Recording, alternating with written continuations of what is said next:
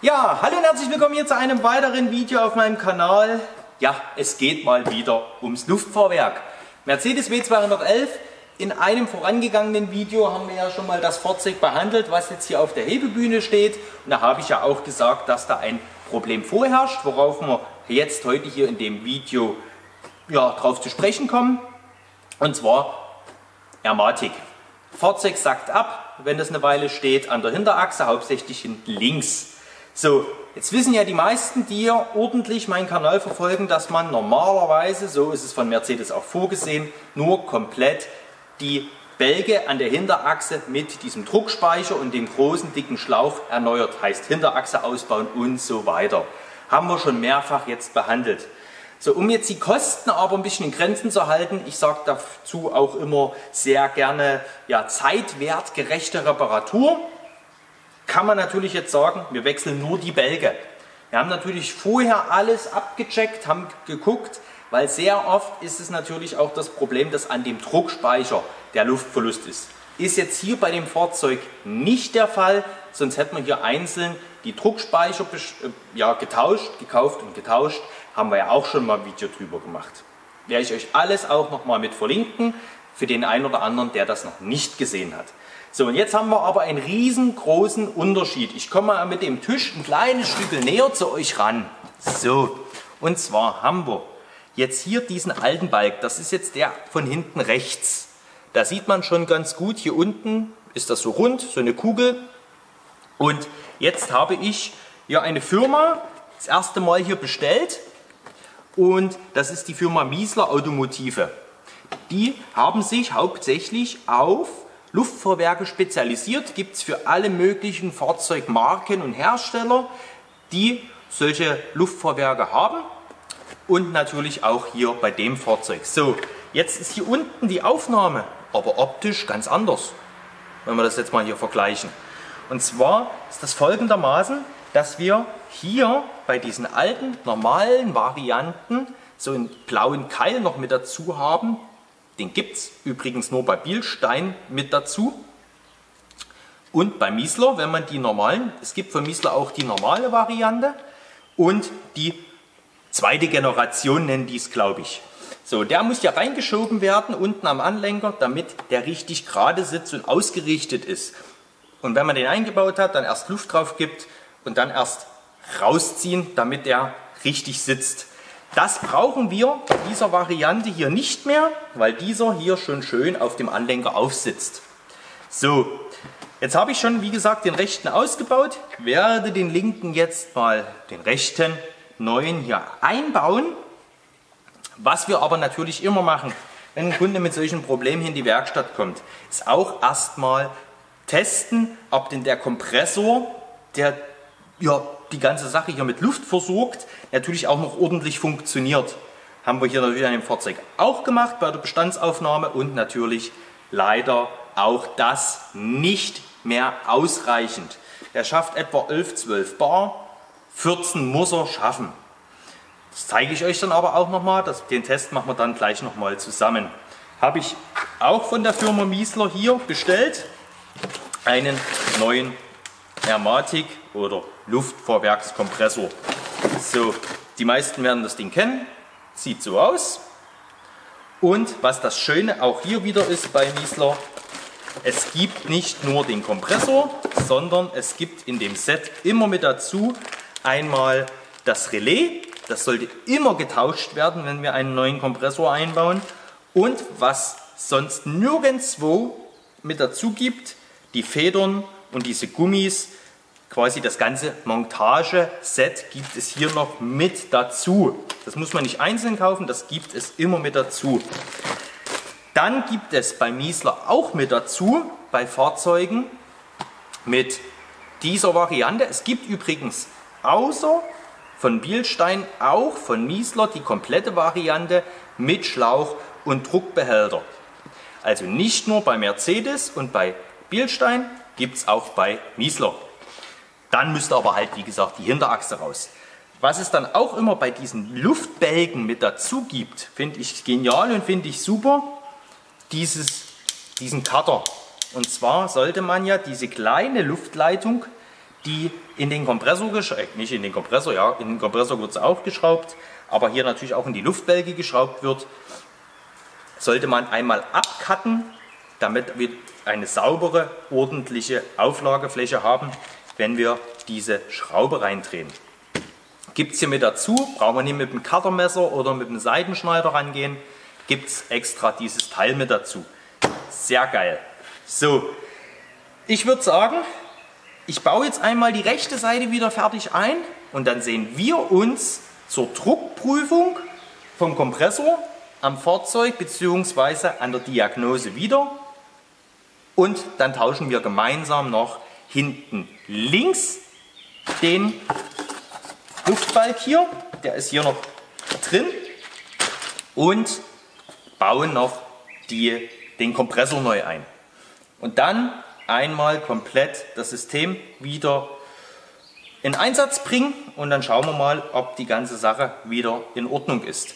Preislich ist die Sache natürlich auch ein ganz, ganz großer Unterschied, ob wir jetzt Original Mercedes Teile nehmen oder Bielstein nehmen im Vergleich zu diesen Bälgen. Selbst wenn wir von Miesler die Bälge mit Druckspeicher kaufen, die sind auch deutlich günstiger und wir werden mal schauen, ob das Ganze funktioniert, ob das Ganze dicht hält. Und wenn das so ist, spreche ich hier natürlich an dem Punkt meine Empfehlung für diese ganze Sache aus. Bis gleich. Also wie erwähnt, prüfen wir jetzt erstmal den Kompressor, das heißt pneumatische Prüfung, ob denn überhaupt noch Leistung vom Kompressor ausreichend da ist. So, gehen wir mal rein. Zack. Und stoppen die ganze Sache mal. Und dann geht die ganze Sache los. So, und da sehen wir schon, dass die ganze Sache ja doch etwas traurig vorwärts geht. 14 Bar sollte er schaffen. Und ja,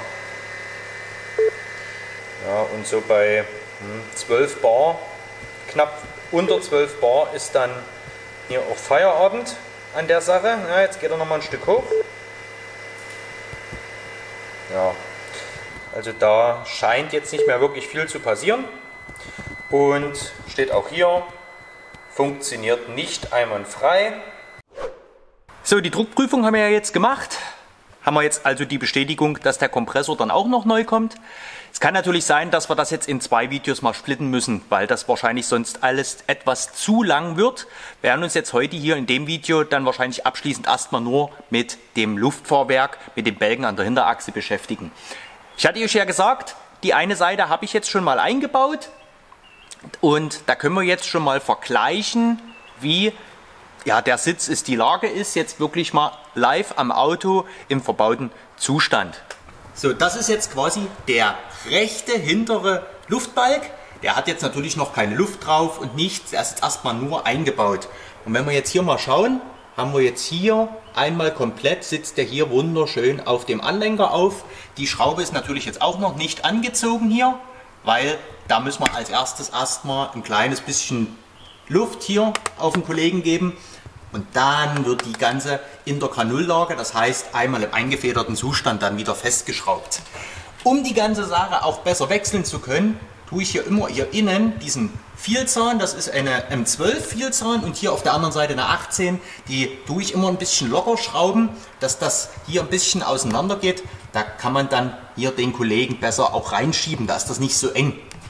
So, und wenn wir jetzt mal hier drüben vergleichen, zack, sehen wir schon, hier haben wir nur diese Kugel unten und hier liegt natürlich nichts auf. Dafür bräuchte man dann diesen blauen Keil, wenn wir jetzt das wieder neu einbauen würden. Ich habe jetzt auch schon die ganze Sache hier vorbereitet, einmal für den Ausbau. Das erkläre ich euch jetzt einfach bloß mal. Ich habe jetzt hier einmal die Schelle abgenommen und den Schlauch runtergeschoben vom Luftbalg, der hier zum Ausgleichsbehälter geht. Das ist der Kollege hier. Habe schon den Stecker rausgemacht und natürlich vorab die ganze Sache mit der Diagnose auf so knapp ein Bar Luft erstmal runtergelassen, also Luft abgelassen an den Bälgen hinten und dann hier den Schlauch runter, da geht dann der Rest noch der Luft weg Genau, ich sprühe mir das immer ein bisschen ein, da flutscht er dann eigentlich relativ gut runter. Die restliche Luft geht noch raus und dann können wir hier den Kollegen schon runterhebeln und dann ist der hier relativ locker. Wenn ich jetzt mal hier ein bisschen euch Licht drauf mache, hier, der Kollege ist jetzt schon komplett locker. Genau, so, so muss dann die ganze Sache raus, dann nehme ich euch dann mit. Ich habe hier natürlich diese Spurstange einmal abgeschraubt, das müssen wir natürlich machen. Und dann muss hier die Schraube noch raus. Und dann können wir den Kollegen schon rausnehmen. Und natürlich hier noch, sehen wir es, ja, sehen wir die Luftleitung noch raus. Genau, jetzt würde ich sagen, Start frei, los geht's. So, jetzt nehmen wir einmal jeweils eine 21, hier Schlaggi drauf, hier innen einmal gegenhalten mit einer 21 und los geht's.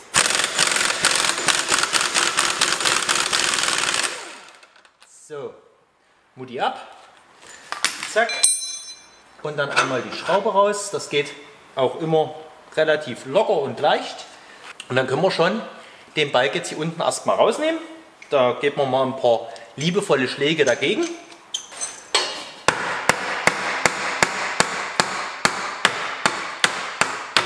Da ist er schon raus. Dann drücken wir uns den hier einmal hoch. An der Seite vorbei. Ich hoffe mal, ihr könnt mal was sehen. So, zack. Nehmen hier mal den Kollegen ein bisschen weg. So. Und ziehen uns den einmal hier raus. Und deswegen mache ich dann auch immer gerne hier den, den Schlauch erst ab, wenn wir die ganze Sache raus haben. Dafür nehmen wir uns jetzt wieder diesen ja, speziellen Schlüssel dafür, setzen uns den einmal hier drauf, dass er einrastet, halt alles ein bisschen verschmutzt hier drin. So. Dann 12er Imbus. Zack, dass der Kollege locker ist. Nehme das wieder raus. Und dann nehme ich einmal das Ganze hier, stecke das jetzt hier rein. Das könnt ihr jetzt wahrscheinlich ein bisschen schlecht sehen. So, einmal drauf. Und dann drehen wir einmal die Schraube locker.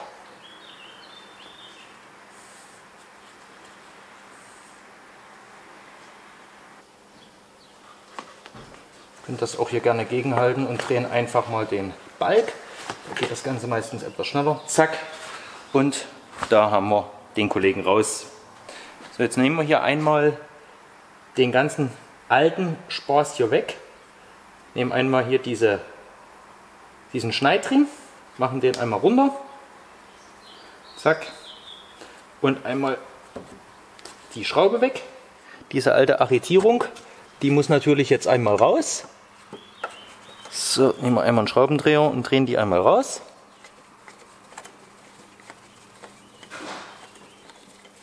Zack. Haben wir den weg. Nehmen einmal die neue und schrauben die wieder rein.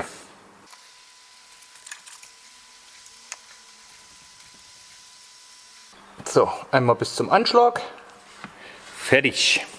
So, wenn wir einmal dabei sind, nehmen wir hier gleich unseren freundlichen Cutter, den ich ja vorhin euch schon vorgestellt habe. Und schauen hier, bis wohin geht jetzt diese, ja, wo das hier so ein bisschen eingeritzt ist. Da gehen wir kurz dahinter, setzen das einmal an, den ganzen Spaß hier genau in die Arretierung rein, drücken hier einmal zusammen, zack, schnäpst uns das Vorderteil weg und wir haben hier eine ganz saubere, ordentlich neue Auflagefläche. So, einmal neuer Balk. Und dann haben wir jetzt hier die neue Schraube mit dem Schneidring. Und das Schöne ist jetzt bei der Sache hier, oder allgemein, das fummeln wir jetzt nicht über den Schlauch drüber, sondern setzen uns das hier einmal schon neu ein mit, dem, mit diesem weißen Sicherung mit der weißen Sicherung, die bleibt noch drin. Ansonsten würden wir jetzt hier diesen Schneidring verlieren. Das schrauben wir jetzt hier einmal rein in den Kollegen. So. Einmal ganz einfach nur festmachen, handfest machen, so dass es nicht mehr weiter zu drehen geht. Nochmal kontrollieren, ob es alles gerade sitzt. Und dann können wir uns jetzt hier diese, na, wie sieht man es? Ja, hier diese Kappe rausziehen. So, dafür nehme ich einfach hier eine Spitzzange und ziehe mir das einmal raus. Zack. Und dann ist das hier einmal fix und fertig. Und dann können wir den Schlauch bis zum Anschlag wieder komplett neu rein. Der arretiert dann hier drin und wir haben hier kein großes Gefummel. So, einmal die neue Schelle. Die legen wir natürlich jetzt als allererstes erstmal über den Schlauch. Das werdet ihr jetzt nicht sehen, aber den Schlauch wisst ihr ja dann, wo er sitzt. Das Teil einmal drüber legen, dass er nicht wieder runterfallen kann. Und dann sollten wir jetzt aufpassen, dass wir hier alles einmal ordentlich zur Seite legen. Den Schlauch, den stecken wir dann rein, wenn der ganze Spaß einmal drin ist.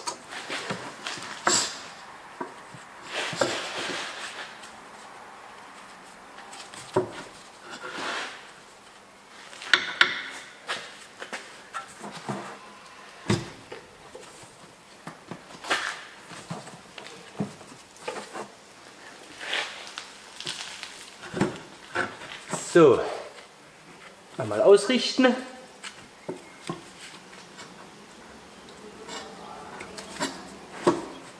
Zack. So, mal erstmal drin. Das ist immer ein bisschen tricky, das ist immer ein bisschen fummelig, aber das geht mit der Zeit dann. So, den Schlauch natürlich nicht vergessen, schon mal mit anzusetzen. Nur erstmal drauf, grob. So. Und jetzt schieben wir uns das hier unten noch in die Position.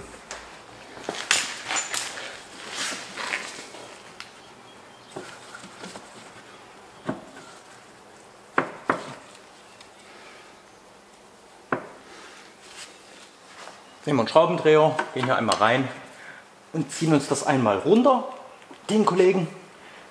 So. Sieht gut aus. Gut. Und dann einmal die Schraube wieder durch. Natürlich nicht das, das Seil vergessen für die Feststellbremse. Das muss natürlich auch wieder mit dazu. So.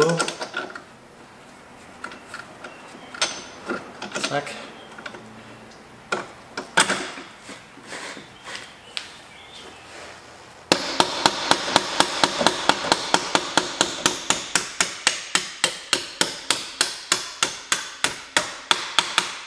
durch, einmal nur die Mutti wieder aufsetzen. Zack, nur erstmal, dass die dran ist. Fertig. So, dann schieben wir hier nochmal den Schlauch wieder richtig drauf, dass der dann richtig sitzt und tun die Schelle festmachen. Und natürlich jetzt erstmal den Schlauch dran machen, den kleinen für die Zuleitung. So, den kleinen Schlauch einmal hier rein. Das werdet ihr jetzt wahrscheinlich schlecht sehen. So, den haben wir jetzt hier einmal reingeschoben. Und der sitzt jetzt auch bombenfest. Wenn ich jetzt hier mal dran ziehe, ist da nichts mehr locker. Der bleibt jetzt auch drin. So, und dann müssen wir nur noch hier an der Seite, ja, hier an der Seite noch den Stecker, ja, den Kollegen noch dran stecken. So, und da haben wir einmal die Bälge für die Armatik an der Hinterachse von der Firma Miesler jetzt verbaut. Wie ich ja schon gesagt habe, damit das Video jetzt nicht zu lang wird, Kompressoreinbau im nächsten Video, Teil 2 sozusagen, auch von Miesler. Da gehen wir noch mal ganz kurz so ein bisschen auf die Kompressoren ein und dann Diagnose, Luft drauf geben, so wie das auch von Mercedes vorgesehen ist. Dann setzt man ab und dann hoffen wir doch, dass der Kollege einmal dann auch dauerhaft wieder Luft hält. Gut, dann sehen wir uns beim nächsten Video. Bis dahin, euer Sven. Ciao.